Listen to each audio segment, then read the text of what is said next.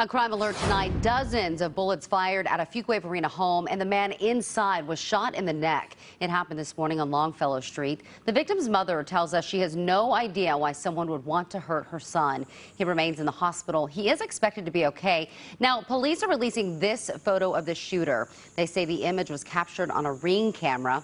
Police say he was likely driving a black pickup truck. And I heard several gunshots going off, and it woke me up and just scared me. I haven't even slept all night. Really. I'm running off of Jesus right now. Oh, poor thing. Police declined our request for an interview, saying the latest information is on their Facebook page. Anyone with information, or if you'd like to see that picture again, be sure to go to CBS17.com and you can call police if you have info.